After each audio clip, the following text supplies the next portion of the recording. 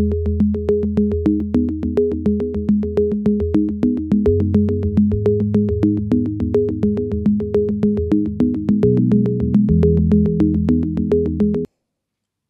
in this video I'm going to show you how to work with a, a new custom visual that we have uh, that help us to connect with Power Automate.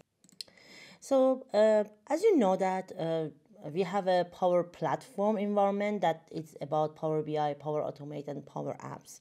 Before that we have Power Apps for Power BI that help us to input data from uh, Power BI data set and then uh, run a Power Apps and provide uh, data entry for that. So now actually we have a new visual that you can access it through the marketplace uh, that help you to uh, trigger a Power Automate and a flow through Power BI. So to access that, you need to go to that three dot, click on get more visuals, and under that, uh, just search for Power uh, Automate. So if you search for Power or Flow, it should come. You can see here, Power Automate or Flow, both of them actually work. So I'm going to add it here so it will be add on the place that uh, all of my custom visual will be there so i click on that uh, it's provide an overview and a description that uh, ask us to add data uh, from the field that we have. Uh, then we need to set up our flow that is going to open the power uh, automate environment inside here.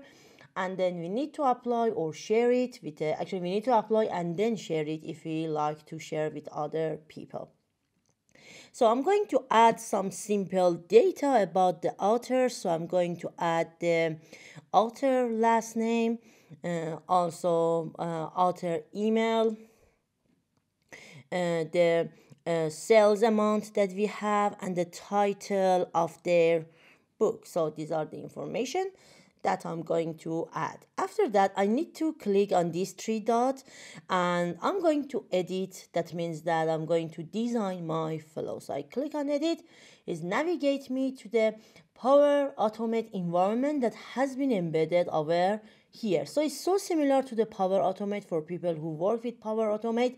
This is actually same environment.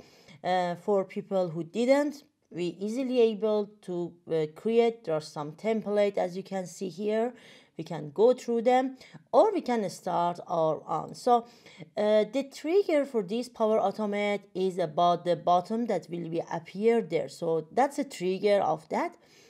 And in the next step uh, I have a sales data. I want to put a condition that if the sales data is greater than, for example, 200 or 300, I want to send the email and said that's a bestseller one. And uh, actually, if that's less than that, I'm going to send the email to the authors and I'm going to tell them that how I can help them. So I click on the control. I'm going to do a conditional one. So here, I'm going to put a condition based on the sales amount. As you can see here, these are the data that I got. So Power BI data AUL name, that actually is the author uh, L name, AUL name, or the uh, Power BI data title, title of the book. Uh, um, entity, item, and some other information. That's actually Power BI data sales amount. I'm going to put a condition on top of that. So I want to set that if it's greater than or equal, for example, $300, if it's yes, I'm going to uh, actually add the action here. You can choose the action. Uh, that action can be anything. You see that we have many, many different type of the action. My action is about sending the email. So I said send email. Uh, I'm going to send email via Office 365 out Outlook and I choose the send email and here I need to connect it to uh, one of my emails. So if you don't have any connection, you need to make sure you create a connection. So to send the email, uh, you can write it uh, that I'm going to do. But also, if it's in a real environment, you can click on Add Dynamic Content. And as you can see, uh, we can see the email that we already have from Power BI over here. But for this scenario, because I want to it very fast, I just write my email address so we can see that. radacad.com uh, and I want to, so it's greater than 300 I want to put the title best seller. And I want to put the uh, actually the sales amount that was that so bestseller that.